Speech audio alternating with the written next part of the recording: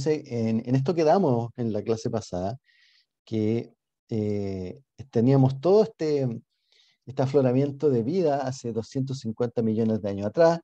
En nuestra escala de, de tiempo, eso está, eh, estamos llegando aquí, acá está los Andes por acá, por acá estaba San Felipe, estamos llegando a lo que es el valle de Aconcagua, ¿ya?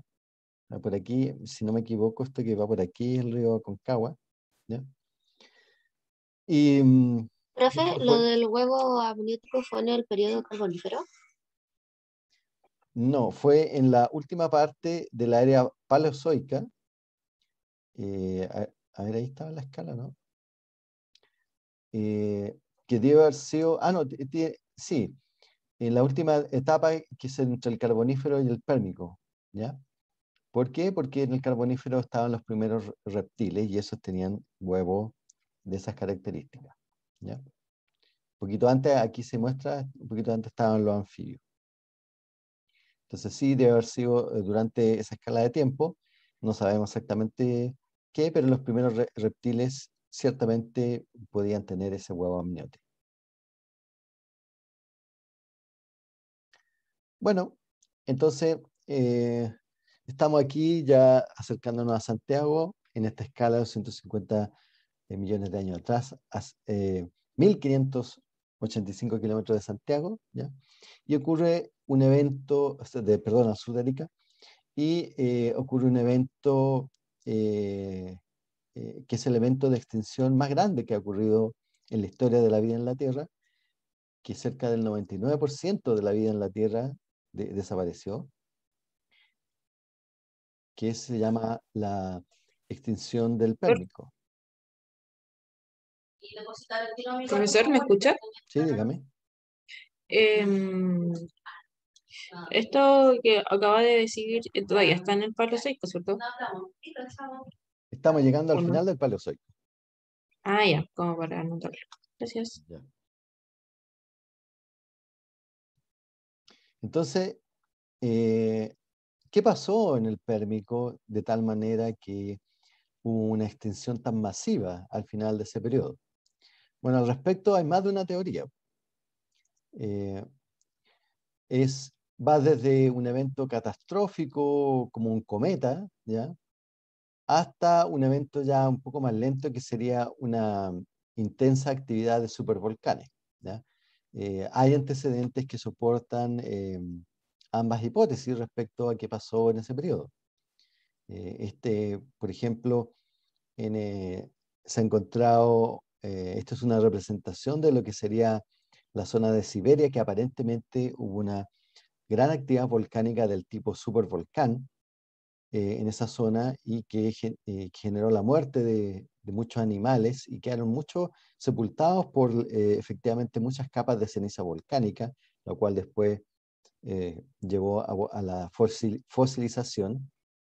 Y, la, y como ustedes saben, la masiva liberación de CO2 y de partículas al ambiente generan eh, eh, algunos efectos como efectos de tipo efecto invernadero, también eh, puede generar efectos como bloqueo de la radiación solar y disminución de la temperatura. Entonces, hay antecedentes que, que soportan más de una explicación. Bueno, ¿cuáles son un poco los datos al respecto? hablando en términos zoológicos, 57% de todas las familias eh, desaparecieron, 83% de todos los géneros, y dentro de eso de los géneros tenemos 53% de familias marinas, 84% de los géneros marinos, 96% de especies marinas y un 70% de las especies terrestres. Y eso, eh, en términos ahora en especie en general, fue un 90-95% de todas las especies. realmente fue un evento eh, grande. ¿sí? Entonces, ¿qué sobrevivió a eso? Eh, nosotros. bueno. Porque todavía nosotros no existíamos en ese momento. No, eh, en, esa época lo que sobrevivió fueron algunos tipos de reptiles que dieron origen después a los dinosaurios y una rama paralela a eso dio origen a ciertos reptiles que dieron orígenes a los eh, mamíferos. ¿Ya? Eh, pero eso ya lo vamos a ver, ¿no? ¿Y plantas también sobrevivieron? Sí, algunas plantas sobrevivieron, sí. Algunas. Algunas. Profe, ¿y algunas, o sea, algunas como dinosaurios, como aves o no? Todavía no hemos llegado a esa, en esta época todavía no existen los dinosaurios, ¿ya? A pesar de que esos que están en la foto se ven muy dinarusoides, ¿ya? No son dinosaurios. No es el grupo de los dinosaurios. A esta época todavía no existen los dinosaurios. Eh, así que tranquilas, solamente vamos en los Andes, ¿ya? No hemos llegado todavía a la época. Interesante ver cuándo fue los dinosaurios. Eso lo vamos a ver en breve minutos.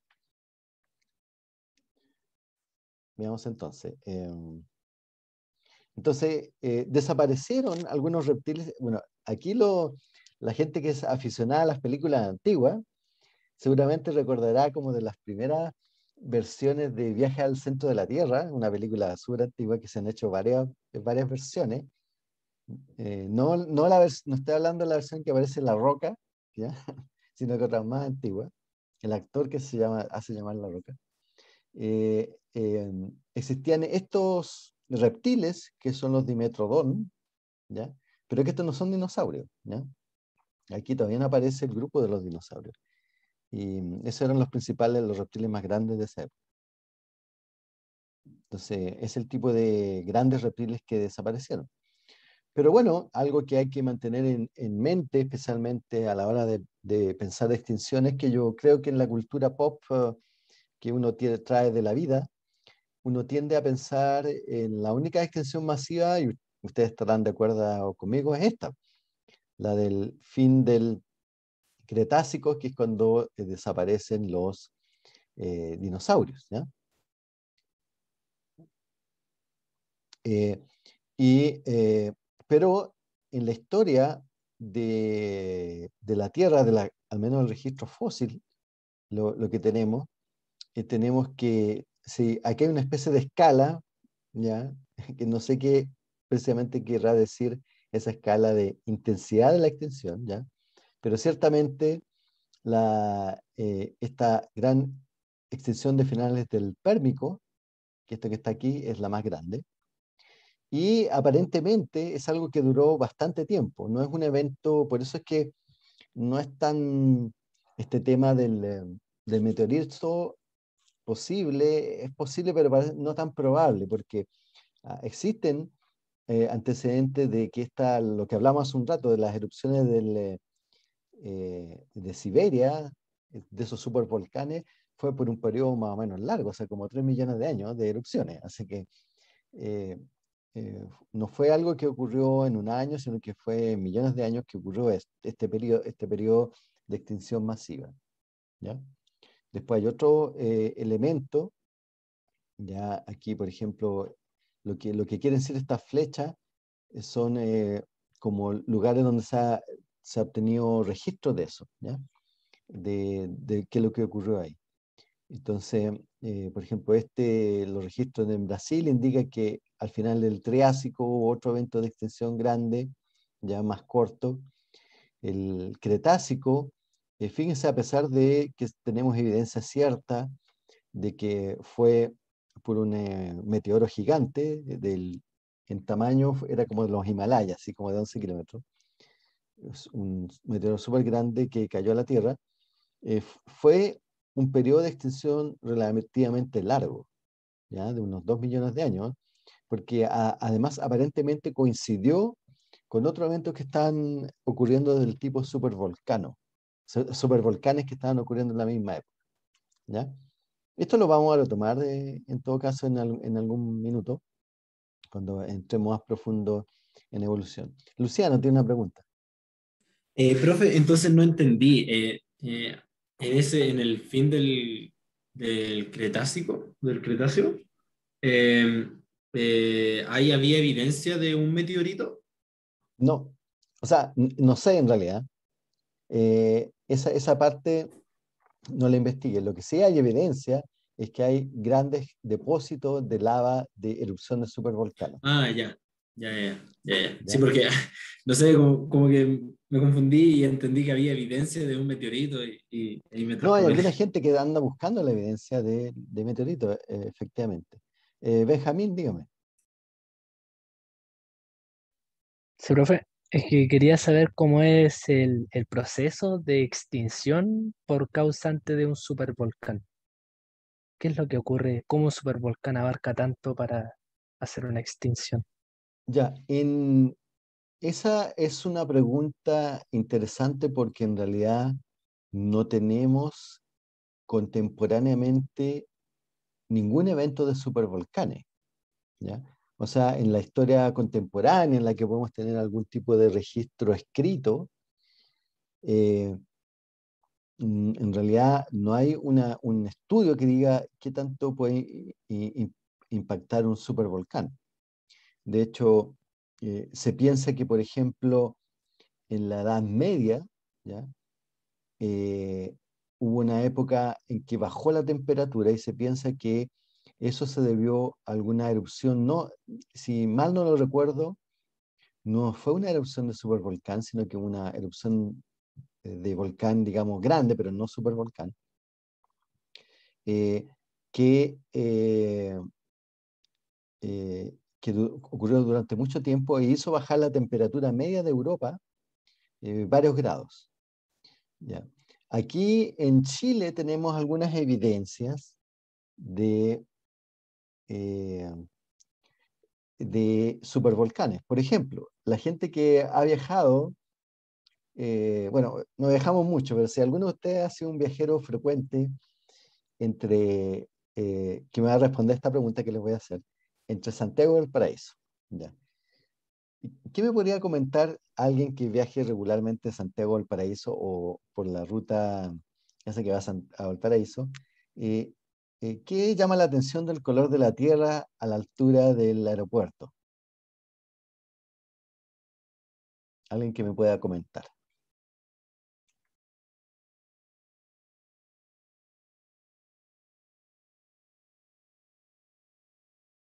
Sí, Stephanie, distinto color ya, pero ¿por qué? Eh, describir, por favor.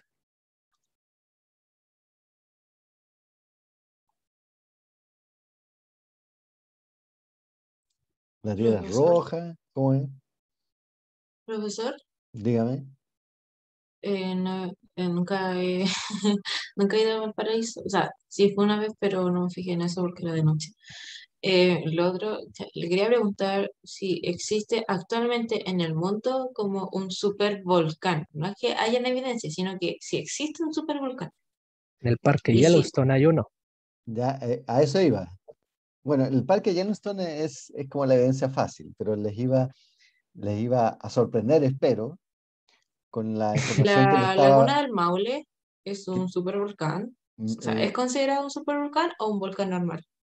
No, eh, o sea, la laguna del Maule no sé. Lo que sí sé que eh, fue un supervolcán es el volcán Maipo. ¿ya? Y, las, y los restos de su última gran erupción Em, el, volcán Maipo, o sea, si quisiéramos simplificar, eh, estaría en el límite con Argentina entre la región metropolitana y la región de O'Higgins, si quisiéramos más o menos simplificar su ubicación. Y hubo una erupción, no, no me acuerdo bien eh, cuándo fue, pero fue mucho antes de la existencia humana, eh, que habitara el valle, que los restos del, de los flujos piroclásticos, que es esta combinación de roca caliente con gases, llegaron hasta Pudahuel. Por eso estaba preguntando quién iba de Santiago al Paraíso, porque ustedes pueden ver que la roca que hay cerca de la salida de Santiago es de color media blanquecina y es porque es roca volcánica, es piedra pome. ¿ya? Y ese tipo de roca es un remanente de la erupción del supervolcán. Ahora, lo que nos nos va a preocupar eh, de aquí a los próximos 100 años, ¿ya? Es que eh, ese, e, esa, mm, en el caso que lo mismo está pasando en el parque Yellowstone, como dijo el compañero, en la zona del, volcán del Maipo, el, eh, hay, se está empezando a producir variaciones en el nivel del suelo. Significa que se está como levantando el suelo producto de que se empieza a acumular magma en este supervolcán. Si eso vaya a terminar en una nueva erupción tipo supervolcán en cientos de años más, no sabemos. Eh, también había escuchado lo, el compañero que dijo por allá la laguna del Maule. No sé si la laguna del Maule califica como supervolcán, ¿ya? Lo que sí, aparentemente la laguna del Maule antes era eh, un volcán y una, una, erupción de tipo violento y quedó el hoyo. Por eso está la, está la, la, laguna, así que, pero no sé si califica como supervolcán. Pero lo que sí está súper claro que el volcán Maipo fue un supervolcán, erosionó tan fuerte que eh, sus flujos piroclásticos llegaron hasta allá, hasta Pudahuel, o sea, cerca del aeropuerto. O sea, imagínense la magnitud de algo que en línea recta debe estar eh, casi cerca de los 70 kilómetros, 50 kilómetros en línea recta, ¿ya? Entonces imagínense la magnitud. Así que respondiendo a la pregunta original del, del, compañero, es súper difícil eh, tener una idea de, eh, de la magnitud de estos eventos porque no, no, hemos vivido nunca uno bien documentado en la historia humana. ¿ya? Lo, lo único que yo, eh, que yo sé que se ha, registrado es que erupciones muy prolongadas y continuas alteran la temperatura del planeta, como lo que pasó en, en la Edad Media. Así que eh, en realidad no sabemos qué puede pasar, pero sí hay evidencia que hay supervolcanes que están en un ciclo eruptivo, después de que tuvieron ese ciclo eruptivo, eh, vuelven a repetirlo, pero aquí no estamos hablando de cientos de años, estamos hablando de miles de años. ¿ya? Entonces, el, seguramente ustedes, vuestros hijos y vuestros nietos no van a tener que preocuparse del volcán Maipo en un buen, en un buen rato, porque tienen, eh, estos supervolcanes tienen esos ciclos eruptivos sumamente largos. Así que no sabemos qué va a pasar. Es muy probable que tengamos cientos de miles de terremotos antes de que veamos en nuestra vida un, eh, un supervolcán. Pero ese es el tipo de eventos catastróficos que son naturales, que han ocurrido y que eh, aparentemente muchos de ellos están vinculados a estos eventos de extinción.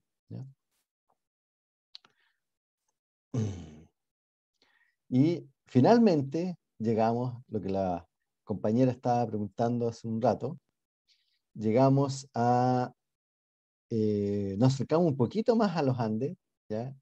como un par de kilómetros más a los Andes, y empieza lo que ya conocemos como la era de los dinosaurios, que es el periodo eh, mesozoico. Entonces, la era mesozoica, que duró de los 252 eh, millones de años a los 66 millones de años hacia atrás, ¿ya? Eh, hay varios elementos, por ejemplo, que eh, comienza la, está presente este gran supercontinente que se llama Pangea, también llamamos que es la era de las coníferas, plantas que no existían antes, empiezan los dinosaurios, las aves, y ya al final de la era mesozoica empiezan a aparecer los pequeños mamíferos. Y también aparece algo súper importante para nosotros, que son las plantas con flores. En términos de, eh, esta no es clase de geología, pero la geología sirve para hablar mucho de, eh, de vincularlo con los eventos de la, de la corteza terrestre, con lo que pasa la biología, que empieza a separarse este gran supercontinente que existía ante, hasta la fecha en lo que es ya la fisonomía del planeta que tenemos hoy, pasando por estos intermediarios que hay, estamos hablando de una ventana de millones de años atrás, de Laurasia y Gondwana. ¿ya? Eh, acercándonos hacia 67 millones de años atrás, recién, eso casi al final de la era mesozoica, empiezan a aparecer los dinosaurios como el tiranosaurio rex y el triceratops, ¿ya? Cosa que ustedes saben en la cultura pop, uno siempre como que los pone en cualquier parte del, de, la, e, de la gran era de los dinosaurios, pero estos en realidad son dinosaurios más modernos, de finales de esta gran era de los dinosaurios. Y estamos aquí A ver, ¿dónde estamos en el mapa? Ah, aquí está, aquí está Colina por acá, aquí en la esquinita. Ya estamos muy, muy, muy cerca, por acá está empezando Chicureo acá abajo, ¿ya? Y aquí siguen otros eventos que vamos a ver lo que suceden rápidamente. Entonces, eh, este, este esquema que es muy bonito muestra como la presencia de los dinosaurios en las distintas épocas del, llamado Triásico, Jurásico por acá abajo y el Cretácico acá. ¿ya? Entonces, por acá recién aquí aparece el tiranosaurio y el triceratops, ¿ya? que no estaban por acá atrás. Entonces, eh, con sus cuerpos, digamos, están formando la línea de tiempo donde, eh, donde aparecía. ¿ya? Entonces, bonito este esquema. Y no le vamos a hacer mucho fiesta a los dinosaurios el día de hoy y nos vamos a ir rápidamente a su extinción, hace 66 eh, millones de años ya. se produce este evento que en, en los libros de de texto se llama el evento KPG, que quiere decir extensión masiva del Cretácico Paleógeno, ¿ya? y hace desaparecer a los dinosaurios a dos tercios de la especie.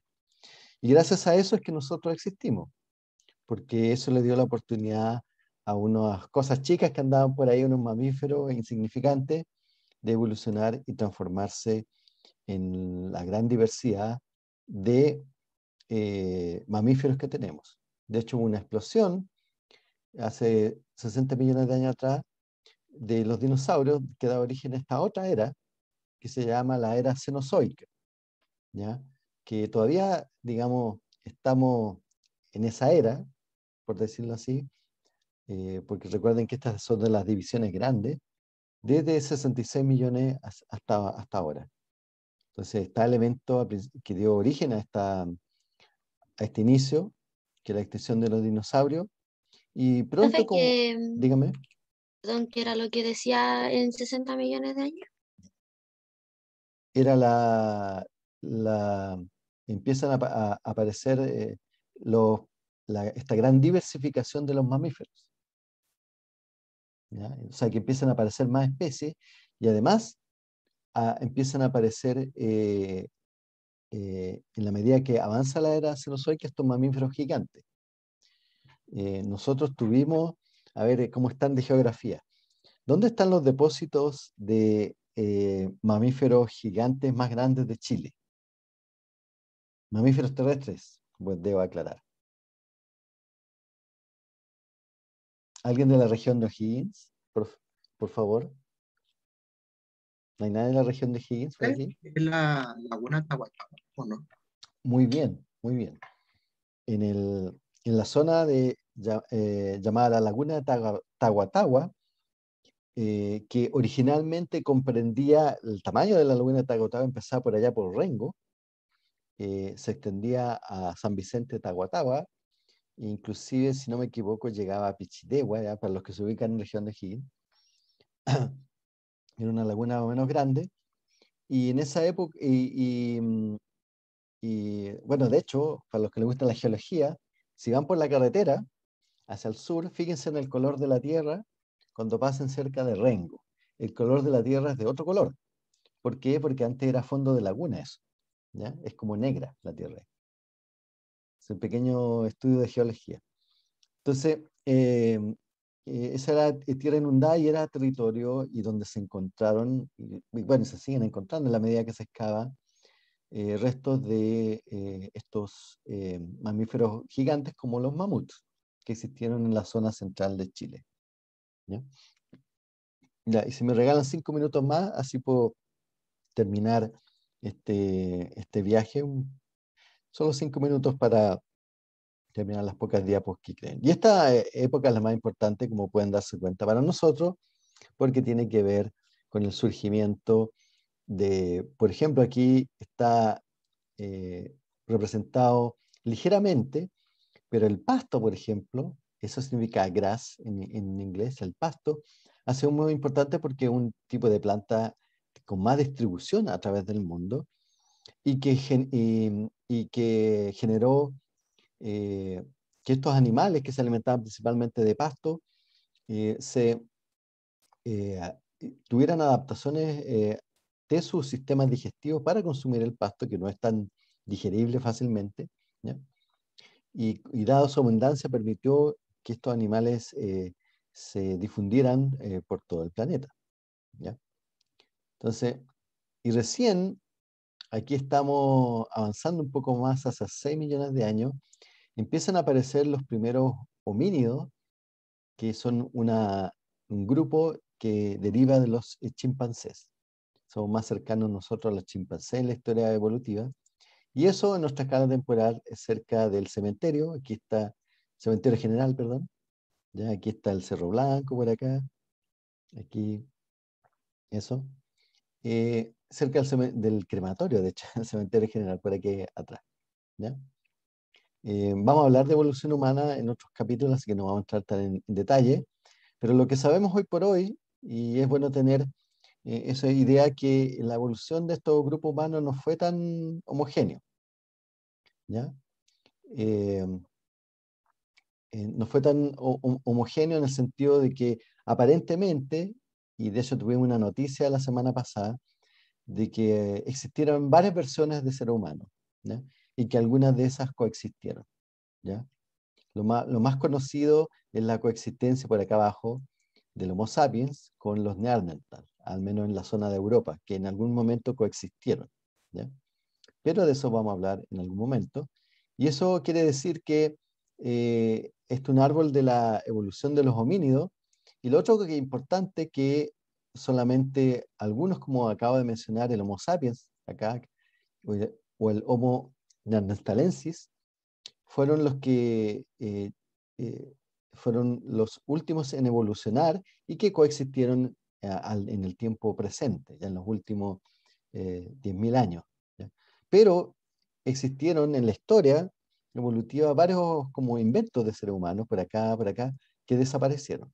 Entonces la historia no es lineal, es, es existieron varias como inventos de seres humanos en la historia o, de eh, primates, digamos, que podríamos asimilarlo a que eran nuestros antepasados, pero no es lineal.